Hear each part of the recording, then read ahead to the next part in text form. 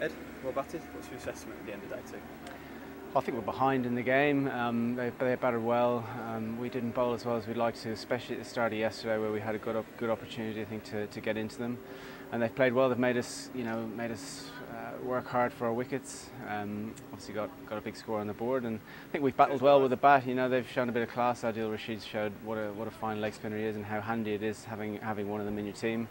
You know, we've de- developing one in Luke Wells, but you know he's, he's not quite got to, to Adil's um, quality yet. So you know they've, they've, they've come hard at us and 180 for four so we need to get a lot more runs the, on the board tomorrow so um, you know there's, there's rumours of a bit of weather around but we, we honest, quite honestly we need to get out there and get some points on the board and, and to try and climb up that table it's got a slow pitch and for that reason is it quite difficult to bat on today?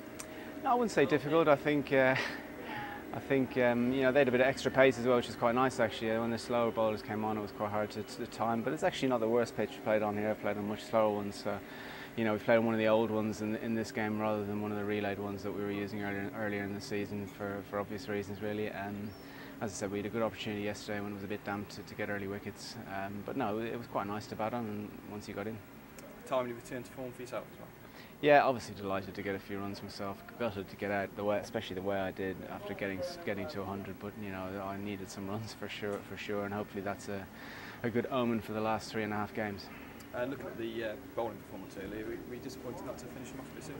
Yeah, uh, yeah. I think we had some good performances yesterday. I think Steve Magoffin had one of his worst days as a Bussy bowler. Still went to two and a half and over as classy, classy bowler that he is. But you know, he possibly didn't get it quite right. And, and as I said in that first session, where I would have expected him to excel, you know, it was good conditions for him. Um, I thought Chris Jordan came back, someone who's been had a side injury, which is a really bad one for a fast bowler. I was really happy with the way he went, and he was, you know, really happy with that as well. So it's good to see him back in form and raring to go for the last three games. And Ollie Robinson bowled like he has all year. You know, he's, he's been a revelation for us, and as all keep saying, thank God we signed him because if we hadn't, we'd be in worse trouble than, than we are. So he, he was really good. And you know, the other guys, I thought Chris Liddle bowled a really good spell today. Um, quite honestly, I don't think we could have done much more. I think they played well, and, and as I said, our opportunity is probably early yesterday. And once we didn't get through them, it was we were hoping for mistakes rather than anything else. Yeah, you touched on CJ there. It must have been a real boost to have him back in the attack.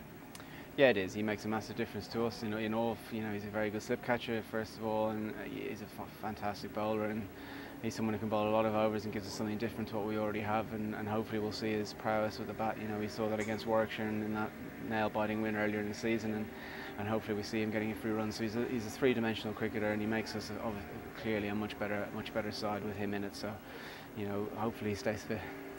Weather aside, tomorrow is that long and hard, isn't it? Yeah, that's all we can do. Bat long and hard. Mike Yardy's played. He played really well at, Lords. You know, he was unlucky in that second innings, and, and he looks good again here. So, you know, it'd be great if he can finish off his career with with with a few runs. And as I said, he's looking really good. And Ollie Robinson's got a good opportunity as as night watchman to get runs, and you know, he, he's he's really hungry to do that. You know, he, he feels like he hasn't achieved what he can do at the bat. And then we have, um, you know, we've a lot of a lot of other guys, Luke Wright and Ben Brown, and, and these guys still to come. So we've a lot of batting still still to come.